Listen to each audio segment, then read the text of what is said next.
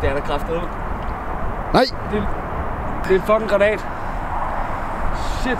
Jeg ligger lige forsigtigt her.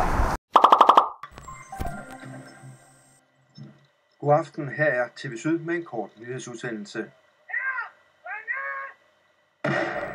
Hej så alle sammen, og velkommen til endnu et afsnit af Magnetfestning, som i dag er betalt og sponsoreret af TreasureHunter.dk, som har været så sød og sponsorere os to magneter. En, der kan løfte 600 kilo, og en, der kan løfte 300 kilo. Dem er der links til i beskrivelsen af den her video, og jeg tror, at der er rimelig god sandsynlighed for, at de kan fange et eller andet, fordi de er sindssygt kraftige. altså, overlever du, Nicolaj? Fanden sker der? Så jeg tænker egentlig bare, at vi skal komme i gang. Ja, Jogos! Fistpicks! Fandme ikke ramme mig. Altså. Og det er igen skide koldt, ikke? Ja, det er fedt. Ah, min handsker er allerede gennemblødt. Vi skal have fundet på en eller anden løsning med de handsker der, det er sgu ikke så rart. Og det regner også nu, så det er også super fedt faktisk. Ikke? Ikke og en skid. Nå, jamen. øh. Jeg tror jeg sgu da nok lige, der er bier, Nico. Mr. El Patron. Eller i hvert fald, øh, i hvert fald spidsen af en. Ja, ja, ja. Det har været en patron. Det har været en patron. Det er det vigtigste. Fedt navn. Nå da. Skal jeg take it? Du må gerne. Så kan jeg kaste lidt videre her. God tur. Nu når jeg er heldig i magneten. Jeg tror, vi har fundet noget for et gevær. jeg ved simpelthen ikke, hvad det er. Det ligner rigtig meget en aftrækker for et gevær. Øj, det er det. Det er det. Præcis en aftrækker.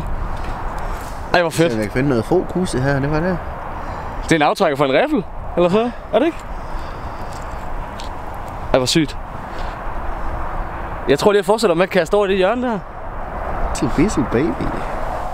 Hvad er det her? Har du mere? Jeg ved ikke, hvad det er. Men det er magnetisk. Jeg nu kastet over i samme område. Jeg kan se, der kommer bobler op for jorden, eller for bunden. Jeg føler, jeg har et eller andet virkelig tungt, men det er lidt...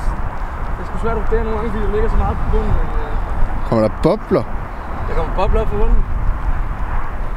Oh god. Det gør der stadig. Kan få det antiklimaks, hvis der ikke er en skid på. ikke, er noget på under. Det er der kraftedeme. Nej, Det er, det, er, øh, det er en granat, Nico. det er løgn. Prøv lige at komme herud og lave et billede af den, og så lægger vi den ned, og så ringer vi til politiet. Det er en fandme fucking løgn. Det her. Nej, nej, pas på, pas på, pas på, pas på. Lav et billede af den. Ja. Det er en fucking granat. Shit. Jeg ligger lige forsigtigt her. Og så går vi pænt væk. Bare i, i dækning. Tak GoPro. Tak GoPro. Shit, lige må det kamera der. Vi har fucking fanget en granat, Nico. Og det er en sponsormagnet. Den bliver sikkert sprunget i luften nu. Øh, vi bliver nødt til at ringe til politiet jo. For helvede. Shit, mand! Okay, nu ringer vi til politiet. Der er nok ikke andet for. Hold nu kæft og tag den. Hej, så du snakker med Alexander Ågaard. Pæn goddag. Jeg øh, har været ude at magnetfiske, og jeg har fået en granat øh, på krogen.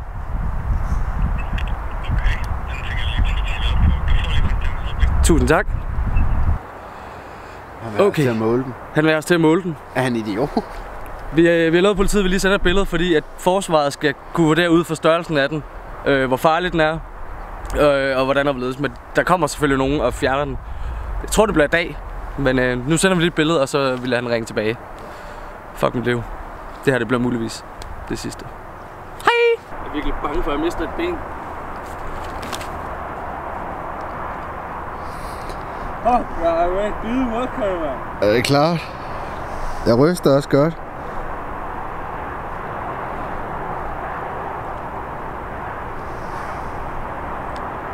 Ej, Svin, det her, mand.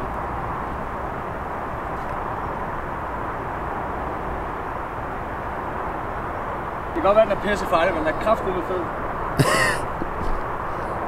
hvis de ikke vil have den, så tager vi den med ind på værelset. Ja. Super. Det er en god idé. Så, det må være de billeder. Dem sender vi til politiet, og så skal vi nok lige opdatere jer med, øh, hvad der sker. Fuck, mand. Selvfølgelig. Tusind tak stadigvæk også til Treasure Hunter, der har sponsoreret os den her magnet. Hvis den bliver sprunget i luften, undskyld til Treasure Hunter. Øh, men om ikke andet, det er i hvert fald en fed magnet. Øh, til lidt af hvert, tror jeg godt, vi kan sige. Alexander er lige ved at skubbe den i vandet igen. så vi lige kan komme ind i bilen og få noget varme, fordi vi tør ikke rigtig lade den ligge fremme. Er den nede? Ja, men den væltede. Nej. Som I lige kunne se, jeg næsten ikke snakke, jeg er virkelig nervøs. Vi har lige sat den i vandet, og så går vi over i bilen lige og sidder varmen. Vi har snakket med politiet, som lige er ved at finde ud af, hvad der skal ske. Og så har vi også lige snakket øh, med TV Syd. Så nu vil vi lige gå over og få varmen, og så skal vi selvfølgelig nok holde jer op til lige snart vi ved, hvad der kommer til at ske. Så tror jeg sgu nok lige, vi er kommet på forsiden jo. Hold da kæft, den er dukket. Der er virkelig dukket. øh, militæret på vej, de sender øh, to folk, som skal bevogte magneten her, øh, eller granaten, også magneten, over natten. og øh, så bliver den nok sprunget i stykker i går, så jeg har virkelig ondt øh, af vores... I morgen. Ja, i morgen. I morgen bliver den sprunget. Ja. Jeg har lidt ondt af vores sponsor, uh, Treasure Hunter. DK, hvor magneten bliver sprunget i luften. øhm, ja. Men vi skal selvfølgelig nok holde jer opdateret, når vi ved mere. Vi er lidt op at køre, det ved jeg ikke, om I kan mærke. Men øh, ja. Nå, så vi kommet hjem til Odense igen. Lige nu der er hjemmeværnet i gang med at bevogte hvad hedder det, magneten og granaten. Det skal de hele natten. Så vi har lidt ondt af dem. Og i morgen tidlig, så skal magneten, øh, eller så skal granaten sprænges. Og jeg håber selvfølgelig, at vi kan nå at, at komme og være med, så frem at de skriver, hvornår de springer den. Men vi satser på, at vi er der i morgen tidlig, når de skal springe magneten. Og hvis I godt kunne lide den her video, så smid den lige der thumbs up. Det er dagen derpå, jeg er lige kommet ned til øh, Sønderjylland, hvor granaten stadig ligger hjemmevand. De står på siden af mig og øh, har holdt øje med den hele natten. Lige om lidt så kommer TV Syd også, som øh, gerne lige vil ned og, og dække, dække det. Vi ved ikke helt, om den bliver sprunget her. Øh, hjemmevandet siger, det er for tæt på huset, så det kan godt være, at, at den bliver kørt til en kaserne, og så bliver den sprunget. Men jeg ved det ikke helt endnu. Lige nu sidder jeg egentlig bare i varmen, fordi det er satans koldt udenfor. Så kommer TV Syd sgu. Det er fandme længe siden, jeg har været i fjernsynet, og jeg er røvhammerende træt, så det skal nok blive interessant, tror jeg. Så har vi lige lavet interview med TV Syd. Der er et eller andet med mig og interviews, altså... Jeg er altid træt. Det er altid koldt. så, så det bliver spændende, øh, hvordan, øh, hvordan det er gået. Det kan jeg se i aften. Jeg håber, det er gået godt. Jeg har lidt svært ved selv lige at, at bedømme det, så jeg glæder mig til at se indslaget. Nu skal der lige laves nogle billeder, hvor de flyver med dronen ud over søen, og så venter vi stadig på, at, øh, at minørgutterne kommer og øh, finder ud af, hvad der skal ske med, øh, med granaten. Status er, vi stadig venter til vi Syd har lige smækket en drone i luften, så de kan lave nogle billeder af søen. Nu tror jeg, vi hopper over i bilen igen lige at få varme, fordi jeg fryser som en lille pige, der har fået tæv i julemanden. Altså, det er helt vanvittigt, så koldt dag i dag. Og så vil jeg egentlig bare gerne hjem i seng. Jeg har ikke nået at sove så super meget i nat.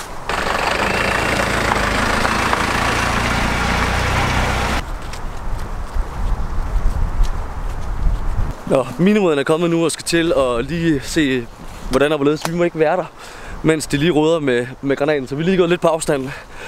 Og jeg fryser og venter og ser, hvad, hvad der kommer til at ske. Nå, men vi har lige fundet ud af, at, øh, at granaten den er, den er skarp, så den skal altså bortsprænges med det samme. Så lige nu øh, der er vi lige ved at rykke om, fordi at der skal laves noget, der hedder en nødflytning af granaten. Den skal om på en mark heromme, og så bliver der tilkaldt, øh, tilkaldt en ambulance. Og øh, så bliver den sprunget øh, ja, lige om snart. Det der sker nu, det er, at øh, hvad hedder det, manden han har gået ned og hentet, øh, eller gået ned efter granaten nu, og så skal den rykkes op der, hvor den skal sprænges. Så øh, vi går lige lidt på afstand ned til øh, ambulancefolkene, og lige så snart, at den så ligesom er blevet klargjort, så kan vi komme op og, og se sprængningen. Er du der? Yes. Her springes. Her springes. Her springes! Her springes! Der må skydes.